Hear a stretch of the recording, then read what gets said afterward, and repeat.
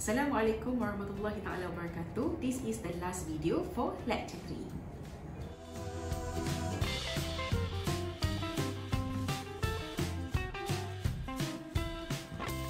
This is the last part of subtopic 2.3 where we will focus on the anomalous electronic configuration of chromium and copper. So chromium and copper have electronic configuration which are inconsistent with the Aufbau principle. So here is the predicted electronic configuration for chromium atom with 24 electron. The SPDF notation is 1s2, 2s2, 2p6, 3s2, 3p6, 4s2, 3d4.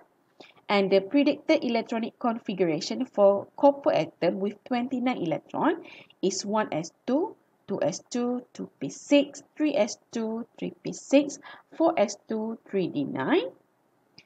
And the actual electronic configuration shows the contradict to the predicted electronic configuration, where the actual electronic configuration of chromium atom is 1s2, 2s2, 2p6, 3s2, 3p6, 4s1, 3d5, and the actual electronic configuration for copper atom is 1s2, 2s2, 2p6, 3s2, 3p6, 4s1, 3d10.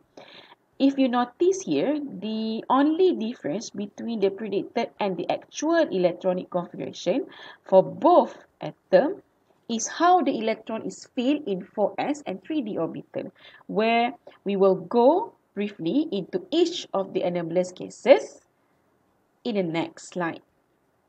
So let's start with the anomalous electronic configurations of chromium atom. So this is the predicted electronic configuration for chromium atom.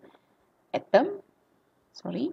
So the predicted electronic configuration is consistent with the Aufbau principle where we have 1s2, 2s2, 2p6, 3s2, 3p6, 3d4, 4s2. So this electronic configuration obey Aufbau principle because the electron is filled in in the 4s orbital first before the remaining electron is filled in the 3d orbital. However, the actual electronic configuration of chromium shows the contradict.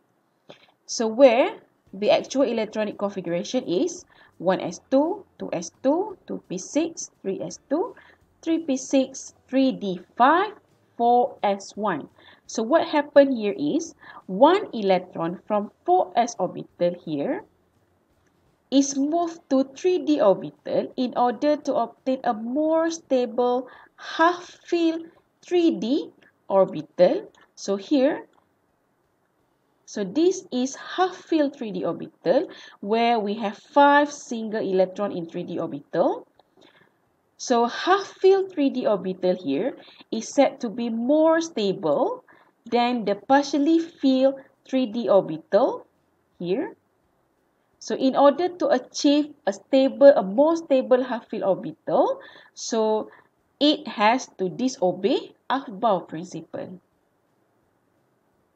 So let's take a look at the anomalous electronic configurations of copper atom. So this is the predicted electronic configuration for copper atom that is follow the Aufbau principle.